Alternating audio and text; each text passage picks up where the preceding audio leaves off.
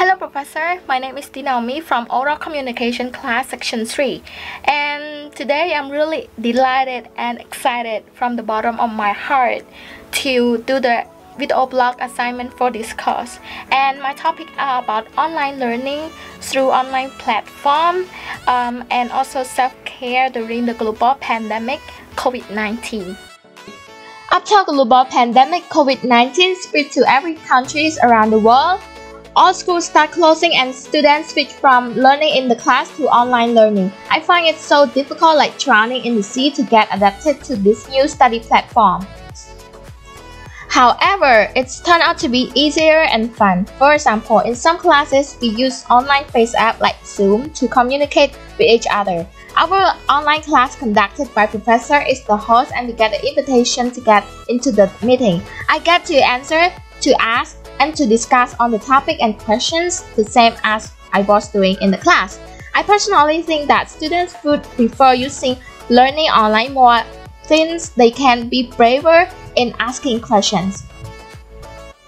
Some other activities like debating, we even do it online.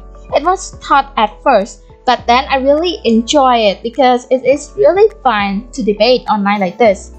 And in some other class, professor only do the lecture and all we have to do is listening and taking note. I and my friends started getting used to it now.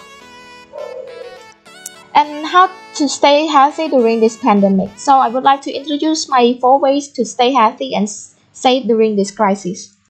First, go to bed early and get up early.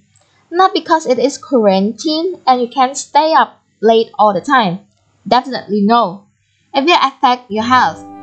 I follow my sleeping pattern every day, so whenever I get up, I feel really fresh and active every time.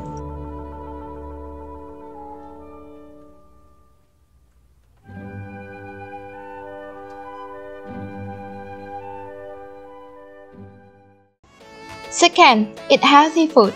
I usually eat fruits which contain vitamin C like orange and mango. It keeps your immune system strong and not easily get affected from the virus.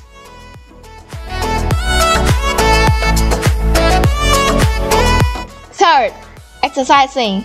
I know during this quarantine everyone will be lazy in doing activities. So let's cut out your laziness and start exercising. I start doing exercise every morning now and it helps so much to build my energy and muscle.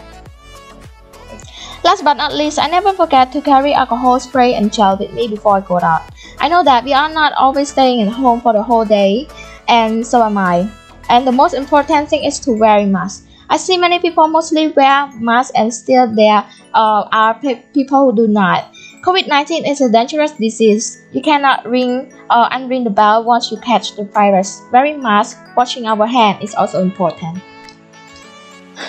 Let's come to the end of the video. Hope you enjoy this video blog.